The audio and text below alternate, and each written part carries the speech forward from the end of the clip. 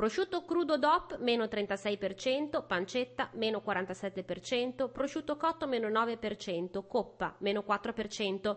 Non sono numeri a caso né tantomeno preoccupanti crolli dei consumi.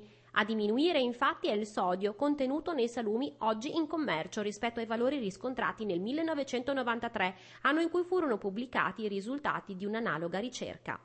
A distanza di 18 anni dall'ultima indagine eseguita, spiega Elisabetta Bernardi, nutrizionista e biologa, docente presso il corso di nutrizione all'Università di Bari, emerge che il miglioramento delle razioni alimentari fornite ai suini, caratterizzate da mangimi ricchi di fibra che si traducono in alimento di ottima qualità per la salute dell'animale e per la produzione della carne, insieme a più innovativi processi di trasformazione, sono stati capaci di influire positivamente sulle qualità organolettiche dei salumi.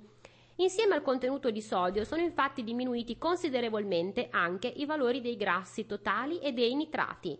Nel cotechino, dal 1993 ad oggi, i nitrati sono diminuiti del 96%. Parallelamente sono aumentati gli acidi grassi essenziali, i famosi omega 3 e omega 6, calcolati addirittura in una percentuale che in molti casi sfiora il 60%.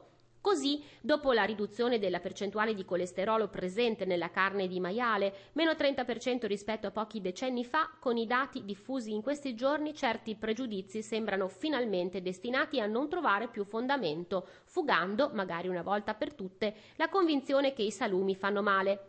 I risultati ottenuti dalla ricerca condotta da INRAN e SSICA hanno evidenziato altri dati interessanti come la presenza di zinco, ferro e vitamina B12, puntualizza la nutrizionista, parametro quest'ultimo che nella precedente ricerca del 1993 non era stato valutato.